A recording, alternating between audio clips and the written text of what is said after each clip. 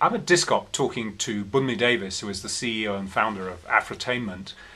Bunmi, tell me about Stand Up Nigeria, which is your key program. Um, Stand Up Nigeria is a monthly comedy show. We started in November 2008. We ran consecutively for about 20 months. We went on break to strategize again, and we'll be resuming in October 2011. Tell me the format of the program. What's what's it look like?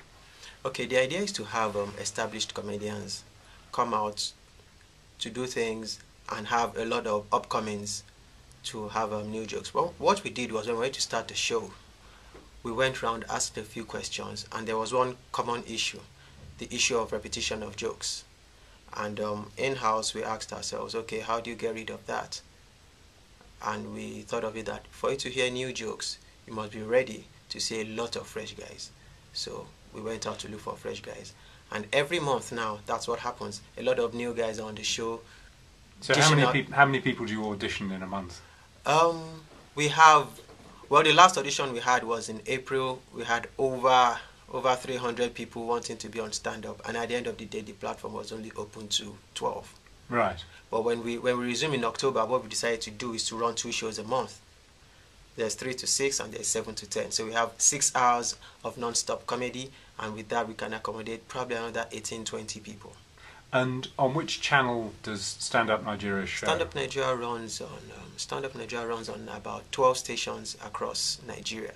It's well syndicated, and we're hoping to cross the boundary now. Which are which are those stations? Just so we got some sense. We run on TVC, yeah. DBN Lagos, DBN Abuja, AIT Bayelsa, AIT Benin, CRBC um, Calabar. We run um, I don't have all the stations in my but, head, but, but you've got some of the you've got some of the key commercial stations. Oh yes, oh yes, that. oh yes, oh yes. Yeah. And what's your ambition for the program? What would you like to see happening in terms of the expansion of the program across Africa? Okay, we we're planning to have the biggest comedy platform from Nigeria across the entire continent. Okay, and tell me about the comedy scene in Nigeria. When did when did it start, and who are who are the big figures in the in the comedy scene? Started about twenty one years plus. Um, I think the biggest name in Nigerian um, comedy now is Alibaba. Undoubtedly, he's the king of Nigerian comedy.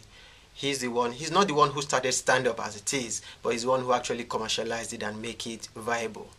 Okay. Um, if you know a lot about Nigerian tribes and everything, there's the Niger Delta region, which produces a good chunk mm. of um, comedians, and the comedy platform has helped to reduce a lot of negative activities happening mm. in that region. So, why do you think people in Delta region are natural comedians? I can't say exactly why, but there is no way you sit with a Niger Delta person and not have a good time. I think it's just in their system. It's in their blood. They're okay. born to be funny. and where do stand-ups play if they're not on television? They, are there stand-up clubs in? Interestingly, after um, when Stand Up Nigeria started, a few months after that, a few clubs um, started their own comedy shows, um, but they didn't really get it right. Most of them went off along the line.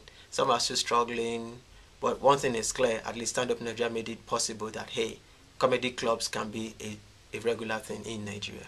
So comedy, the stand-up comedy is essentially a television phenomenon rather. Yeah, than... it's um, it's an idea recorded for TV and also radio. Yeah. So okay. we run on TV and radio.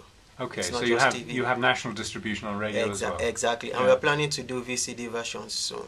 Okay, and tell me very briefly about the other programs you do, because Stand Up Nigeria is just one of. Um... Yeah, Stand Up Nigeria is our primary. There's a new project we are working on called Laughaholics. It's also it's also comedy. It's going to be different skits. Imagine all the crazy things that can happen to you from the Nigerian angle. Okay, there is traffic issue in Nigeria. There is no power supply.